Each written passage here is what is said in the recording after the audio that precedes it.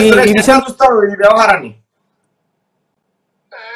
తెలంగాణ రాష్ట్రంలో మహిళలకు భద్రత లేదనే విషయాన్ని స్పష్టంగా మనకు అర్థమవుతుందన్న మీరు ఉదాహరణ ఉదాహరణకు చూడండి. మీ మీద కేసులు పెట్టి దొంగ కేసులు పెట్టి ఎక్కలేని ఇంట్రాగేషన్ చేసి మిమ్మల్ని బయటికి రానియకుండా చేసిన పోలీసులు. ఒక ఆడపిల్లకి అన్యాయం జరిగితే పోలీసులు. ఎమ్మెల్యే సంబంధించినటువంటి వాళ్ళని ఆ మంత్రులకు సంబంధించినటువంటి వాళ్ళ పిల్లల్ని తప్పించే ప్రయత్నం చేస్తుంటే.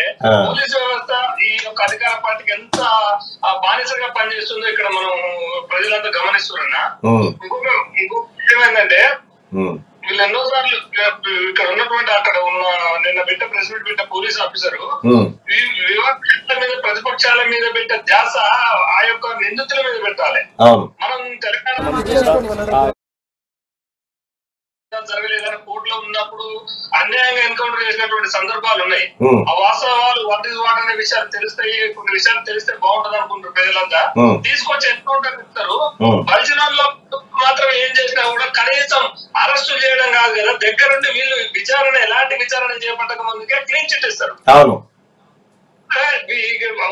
ఇక్కడ తెలంగాణ రాష్ట్రంలో బలిసిన ఉమ్, పేదోడు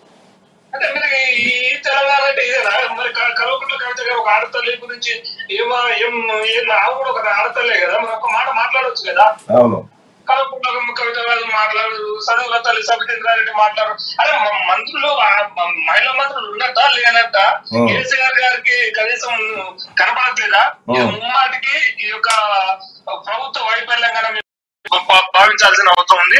ఈ ఈ యొక్క మంత్రుల ఈ యొక్క హోమ్ మినిస్టర్ మనవన్ని కావచ్చు ఇంకా ఎంఐఎం ఎమ్మెల్యే సంబంధించిన వాళ్ళు కావచ్చు అధికార పార్టీ వాళ్ళని తప్పించడం కోసమే అమాయకుల్ని ఇరికించే ప్రయత్నం చేస్తున్నారు. ఇవాళ పబ్బుల నుంచి వాళ్ళకు వాటాలు పోవాలి. క్లబ్బుల నుంచి వాళ్ళకు వాటాలు పోవాలి. ఏం జరిగినా వాళ్ళకు వాటాలు పోవాలి. వాళ్ళు ఏం చేసుకునే ఉన్నారు. అదే ఒక మైనర్ బాలిక పోయిన పోతున్నప్పుడు యజమాని ఏం చేస్తున్నట్టు పోలీసులు ఏం చేస్తున్నట్టు అంటే ఇది ఇది మొత్తం పూర్తిగా పోలీసు వైఫల్యం ప్రభుత్వ వైఫల్యంగానే మేము భావిస్తూ ఉన్నా. వెంటనే ఈ యొక్క నిందితులకు ఖచ్చితంగా శిక్ష పడే వరకు మీతో పాటు కూడా మేము ఉద్యమం చేయడానికి సిద్ధంగా ఉన్నాం. ఉస్మాన్ యూనివర్సిటీ విద్యార్థి చేసి దీన్ని ఖండిస్తుంది. పెద్ద ఎత్తున ఉద్యమాలు నిర్వహించడానికి కూడా మేము సిద్ధంగా ఉన్నాం అన్న అందుకు ఆ యొక్క ఆ, వాళ్ళకు శిక్ష పడే వరకు కూడా మేము పోరాటం చేస్తా ఉన్నా. రైట్ రైట్ అన్న. థ్యాంక్ యూ సో మచ్ అన్న.